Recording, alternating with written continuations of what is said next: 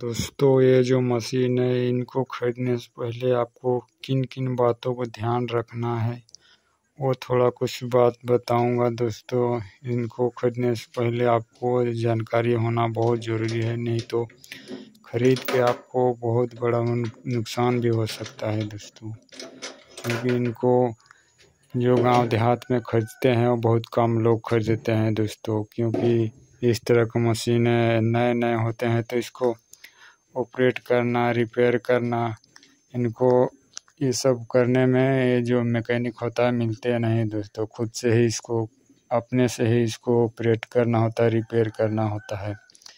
तो इसको खरीदने से पहले, जब भी इसको खरीदने जाओ किसी दुकान में तो आप आप अपने साथ कुछ लेके जाओ, कुछ धान वगैरह लेके जाओ। जैसे अगर धान का मशीन खरीद रहे हो तो धान कुछ लेके जाओ अपने साथ दस पंद्रह के जी इस तरह से।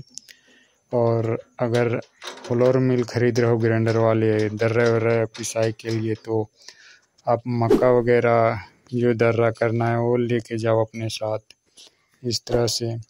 अगर आप इस तरह के काम नहीं करते हो दोस्तों और घर ले आते हो खरीद के तो आपको नुकसान ही नुकसान होगा, क्योंकि वहाँ लेके अगर आप चेक करोगे क्या क्या पार्ट मिसिंग है वो डलवा लोगे।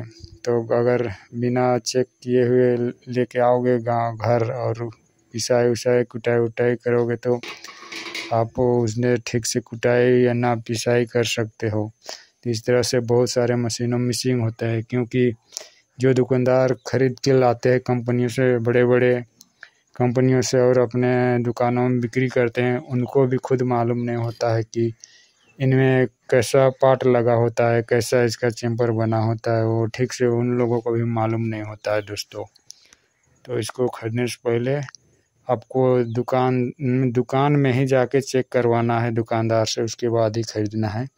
और ख़रीदने से पहले दोस्तों, दुकान में जाके इनका जो स्पायर पार्ट होता है, जैसे जाली हुआ सॉफ्ट हुआ बेल्ट बेरिंग इस सब के अंदर का जो पार्ट हुआ, जो घर्षण करता है, जो रोटेट करता है, वो पार्ट उनको ज़रूर पूछना है दोस्तों। जो पार्ट घर्षण करता है रोटेट करता है, वो पार्ट ये जो मशीन है, वो पार्ट उस दुकान में अवेलेबल होना चाहिए। एक्स्ट्रा बहुत सारे करीब ला रखे हुए रहना चाहिए दोस्तों। नहीं तो क्या होता है कि जब ये चलते चलते ख़राब हो जाएगा तो आपको बड़ी परेशानी झेलनी पड़ जाएगा, क्योंकि वो पार्ट आपको सामने मिलेगा नहीं तो फिर रिपेयर करके दोबारा इसको चला ही नहीं सकते हो। इसीलिए ख़रीदने से पहले जो पार्ट स्पेयर पार्ट होता है इनके अंदर का साफ्ट होता है, जाली होता है, वो पार्ट अवेलेबल होना चाहिए। उस दुकान में, जिस दुकान से ख़रीद रहे हो, उस दुकान में अवेलेबल होना चाहिए बहुत सारे, तभी ख़रीदना। नहीं तो बहुत सारे ऐसे दुकान हैं जो सिंगल बस एक सेट लेके लाएँगे और उसके बाद आपको सेल कर देंगे। तो उस उस टाइम वैसे दुकानों से ख़रीदना मत दोस्तों, क्योंकि वैसे दुकान से ख़रीदोगे और फंस जाओगे, क्योंकि उनके पास एक्स्ट्रा पार्ट नहीं होता है। तो फिर बाद में आ जाओगे, पंद्रह बीस दिन बाद जाओगे, महीनों दिन बाद जाओगे तो उसके पास कुछ भी एक्स्ट्रा पार्ट नहीं रहेगा तो आपको देगा कैसे? तो इस तरह से जिस दुकान में एक्स्ट्रा पार्ट रहेगा एक्सपायर एक्स्ट्रा पार्ट रहेगा उसी दुकान से ख़रीदना। इस तरह के राइस मिल या फ्लोर मिल दोस्तों। नहीं तो परेशानी बहुत होता है दोस्तों। और दोस्तों, इस तरह के राइस मिल या फ्लोर मिल अगर ख़रीद रहे हो तो ऑफलाइन ख़रीदने का प्रयास करना दोस्तों, क्योंकि ऑनलाइन में बस एक सेट आपको भेज दिया जाएगा।